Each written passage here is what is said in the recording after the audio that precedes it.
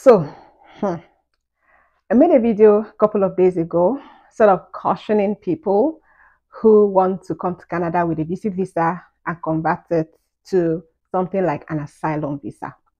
And I got all sorts of responses in the comments and in my DM from, oh, you're discouraging people from coming to Canada. Or, oh, you're not telling people the truth. Or, oh, my cousin did it. Or, oh, my neighbor did it. Or, oh, oh asylum is okay. And all of that. And I want to respond. Now, my intention is not to discourage anybody from coming to Canada. I can't discourage you from coming to Canada. I can't even stop you from coming. Canada, don't be my papa, get on. Yeah? You can come. And I want people to come to Canada. That's why I make this content. But did you hear about the death of that Nigerian young man in Canada a few weeks ago who was sleeping in a tent outside seeking asylum? He died. It is a rude awakening for us who are planning to come to Canada on a visit visa without a plan. What I was actually warning against was coming to Canada without a plan. This is winter season.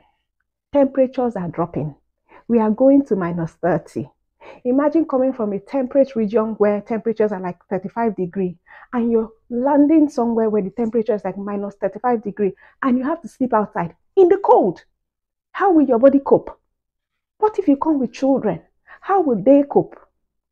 Newsflash Canada does not have where to put asylum seekers again.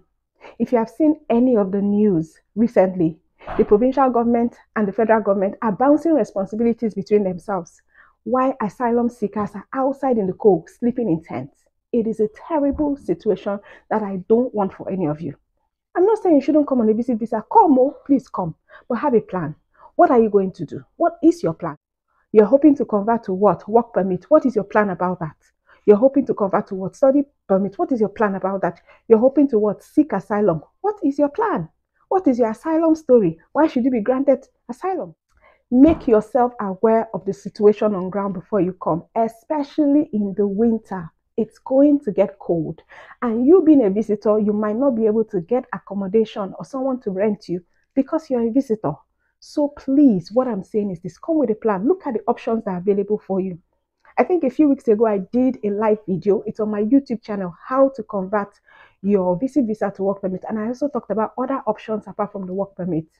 I didn't talk about asylum. I'll talk about that in a later video. But you need to come with a plan. Over the next few videos, I'll be talking about some of the options that are available to you to come to Canada in 2023 going into 2024 you can consider some of that and add it to this your visit visa plan. Then you will have a boomerang of plans and you will not be stuck out in the cold in the winter just because you came with a visit visa. Think about it. I have your good at heart. That's why I made that video. Not many people will say that, but I did say it.